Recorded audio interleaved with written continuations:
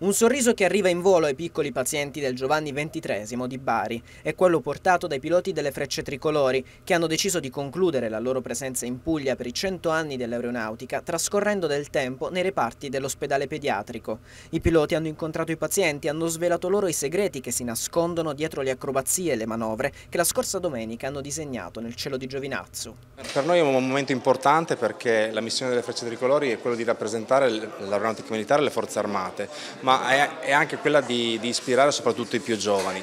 e, e, e quale migliore occasione di stargli accanto in un momento di difficoltà. E noi non pretendiamo di fare i miracoli, anche perché i miracoli qui li fanno gli assistenti sanitari, medici, infermieri. Eh, noi cerchiamo di portare semplicemente un momento di serenità, un, un sorriso ed, ed alleviare un momento che è particolarmente gravoso per, per la loro famiglia. Non si tratta soltanto di un momento di serenità, ma anche di un'iniziativa che potrebbe avere un forte valore per i piccoli pazienti. Adesso le frecce tricolori stanno girando per i reparti e con i loro gadget, i loro sorrisi, le loro divise stanno dando un momento di sanità ai bambini e alle loro famiglie ed è innegabile che queste iniziative contribuiscano in maniera determinante per eh, far sì che i bambini possano guarire in serenità e con l'affetto di tutti.